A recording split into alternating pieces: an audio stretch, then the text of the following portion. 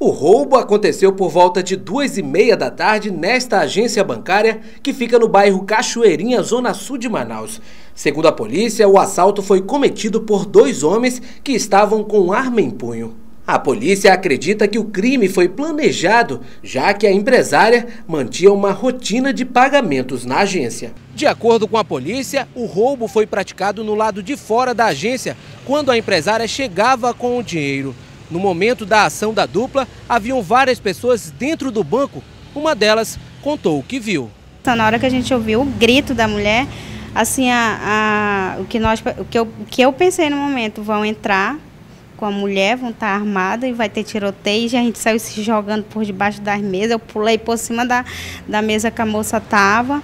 E assim foi um momento de horror. Foram poucas horas, mas foram momentos de terror. Os dois suspeitos fugiram levando 10 mil reais que estavam na bolsa da vítima.